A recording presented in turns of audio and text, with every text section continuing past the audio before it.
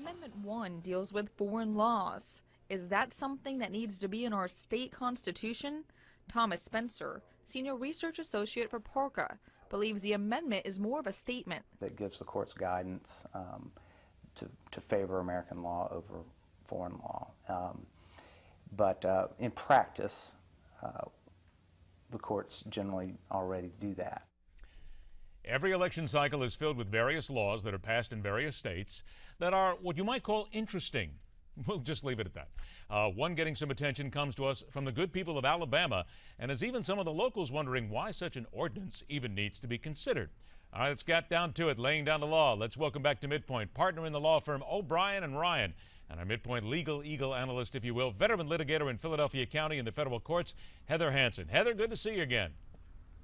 Good to see you, Ed. Here we go, Heather. This really has a lot of people talking. Alabama, it is uh, commonly referred to as Amendment 1. Now, it did not specifically mention Sharia law, but it mentioned foreign laws in the state's legal system, and many people believe this was motivated by the fear that Sharia law would be considered in court decisions. Now, some people say this is going too far. Others say you're looking ahead to what may happen and has happened in other parts of the world.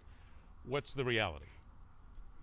The reality is it is it is rare if not completely unusual for our courts to consider other states international law. And when they do, it's in situations like adoption of children from other countries. So this type of amendment is sort of unnecessary and can be harmful. The reason it doesn't mention Sharia law is because that has been struck down as discriminatory and anti not constitutional. So they specifically left out the reference to Sharia law and made it more broad saying that no international law can be considered. Isn't the fear here though that this just becomes another stigma for Alabama or whatever state would pass this, quite frankly, when we're trying to get rid of a lot of these? Well, it is, but you see it in more and more states are bringing it up. So there's clearly some people that have a fear that somehow Sharia law is going to make its way into our legal system. While that fear is unfounded, I think we need to look at what the basis of it is so that we can nip it in the bud because it is making our states differ as to the types of law that they will consider. And it can hurt us with regard to adoption and that type of jurisdictional law where we actually might need the influence of international law at some point. Yeah, that's a good point. Eric Johnson, one of the attorneys who drafted the bill, says it is a guidance to judges, not targeting Islamic law, but as a much wider application, including issues with same sex marriage. Still, it's, it's the kind of thing that gets people talking right away, no matter what you do. Absolutely, and it's something that's unusual and it's hard to pass constitutional muster. In Oklahoma, it was struck down because it referenced Sharia law. So now they've tried to change the language, but it's the same effect. All right, here we go now. Speaking of laws and courts, the Supreme Court, the U.S. Court of Appeals, Sixth Circuit, broke ranks. They upheld the gay marriage, uh, the ban on gay marriage. This was what was what would be their thinking here? Because I guess it still has to come down to state and federal.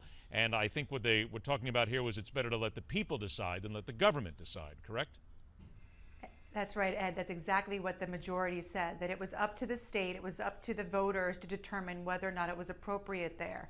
The other part of the thinking, I think, with this decision, and the dissent pointed this out, it is an invitation to the Supreme Court to decide the issue. And some think that the reason that the majority went the way they did is because they wanted the Supreme Court to have to decide the issue.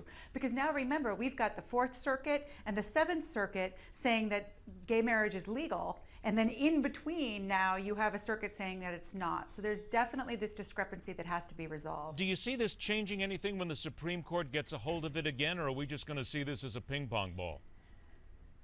I think that the Supreme Court had hoped that they would never have to decide it. I think they had hoped that every circuit would be consistent and find that the ban on gay marriage was illegal. Now that they've been pushed, I think that they will be consistent with their past decision and they will make gay marriage legal across the United States. All right, here comes the Affordable Health Care Act again. Two years after the last challenge for the justice, uh, the justices say yes, we will hear this latest challenge. So, all right, as you look at this latest challenge legally, where it goes, knowing what the Supreme Supreme Court's going to see. What do you think they'll be looking at this time? They're looking at the intent of the legislatures because the language of the law says that it applies to uh, exchanges established by the state. And yet we do have exchanges that are not established by the state, that are established by the federal government. Now, all of the context seems to lend itself to the understanding that the legislators meant for the federal subsidies to be okay. But the actual language of the statute says just the state. So the Supreme Court is going to have to decide whether the actual language rules or whether the context and the intent is what rules. Heather, are we still coming around to the fact that no matter how you slice it, love it, hate it, one way or the other, that Obamacare, the Affordable Health Care Act, is one of the worst written pieces of legislation that lawyers have seen come down the bag in decades?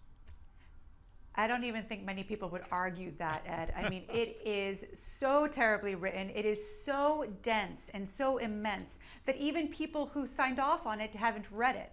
So now you're going to have courts looking at it, and we have throughout the years that it's been in effect, looking at it and trying to parse it apart to make sure that it is effective and that it works. This Supreme Court decision is going to be interesting because if they find that the legislator did not intend for it to apply to federal subsidies, you're talking 4.6 million people who will be affected. So it could really be the death of the ACA.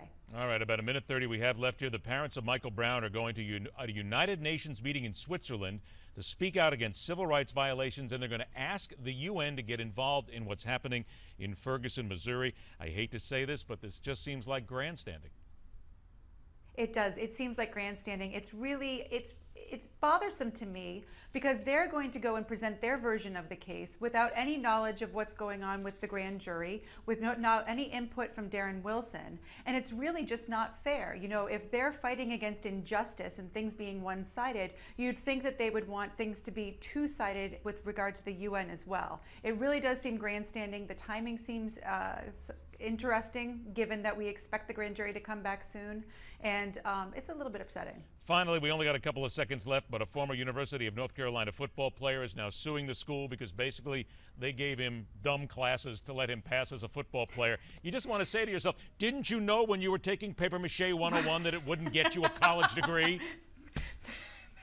That's, my problem with this case. Listen, we've seen it with the NFL with concussions. And then now we've seen some cases coming up with the NFL with pain relievers and pain drugs, pain pills. And even those you start to question, you know, when do you have personal responsibility? When do you make choices? Here, you're right. I mean, these kids, whether or not they should have been taking better classes, they had that option. They could have left the school, mm. they could have insisted on different majors and different classes. So it's going to be a tough case. Basket weaving 101 does not get you through life, young man. And it doesn't happen. That's right. Doesn't happen. It Heather, doesn't. I wish Heather it. Hansen, always a pleasure. We'll come back next week and we'll see if we can find some other lawsuits that don't belong anywhere. Have a good week. Thanks, Ed. You too. All right. After the break, Wall Street numbers and the latest from the Money Master.